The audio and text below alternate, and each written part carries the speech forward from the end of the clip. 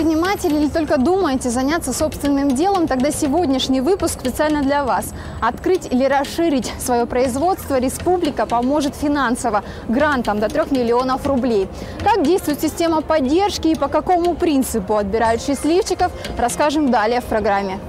Гранты и субсидии – одна из мер поддержки малого и среднего бизнеса. Интерес Хакасии очевиден – развить приоритетное направление. Это производственная сфера строительства, здравоохранения, образования, особое отношение к молодежному предпринимательству. Есть э, несколько видов грантов. Это гранты на развитие э, бизнеса начинающих предпринимателей до 300 тысяч рублей и гранты на поддержку и на развитие действующего бизнеса до 3 миллионов рублей. Сумма в первую очередь зависит от расчета, который э, входит в бизнес-проект.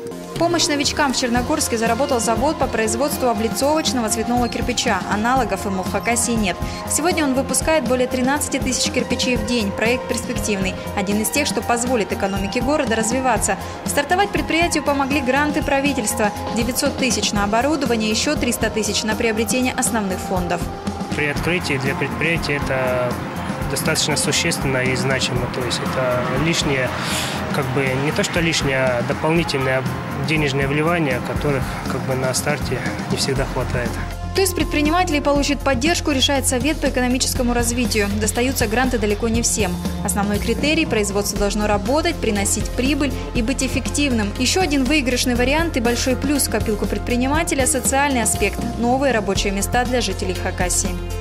Рассказать о своем проекте мало. Предприниматели должны на деле показать его старт. Это своего рода гарантия для Хакасии вложения вернутся с процентами. Софинансировать производство республика будет лишь на 50% при условии эта сумма не выше 3 миллионов рублей. А вот география никакой роли не играет, не считая границ республики. Заявки на гранты подают и жители районов. Помощь предусмотрена не только для новичков в бизнесе, но и для тех, кто крепко встал на ноги. Более 10 лет в Хакасии работает Абакан Сантехметалл. Изготавливает отопительные котлы, теплицы и прочие металлоконструкции. Начиналось же все с небольшого цеха. Развивались медленно, не хватало мощного оборудования, а осенью прошлого года предприятие получило государственную субсидию – миллион рублей. В частности, на эти деньги мы смогли приобрести токарный станок, фрезерные, вальцы, ну и непосредственно э, данные гильотинные ножницы. Они позволяют производить э, обработку металла толщиной до 16 мм. Приобретение данного оборудования позволило нам осуществить такой большой прорыв. Мы нашли новых заказчиков. Только за 2012 год поддержкой воспользовались свыше 200 предпринимателей. На гранты республика потратила без малого 140 миллионов рублей.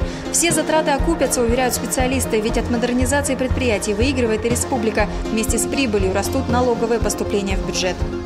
О результате работы программы говорят цифры. За прошлый год число предприятий в Хакасии увеличилось, а оборот малого бизнеса достиг суммы практически 16 миллиардов рублей. Из них 1 миллиард рост за 12 месяцев.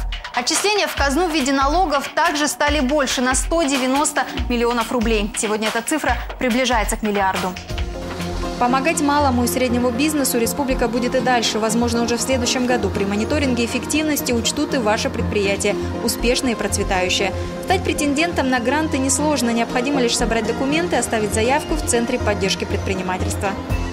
Регистрация пройдет вплоть до августа. Затем стартуют презентации проектов. Так что время на подготовку есть, а также шанс доказать, ваша бизнес-идея выгодна для экономики Хакасии.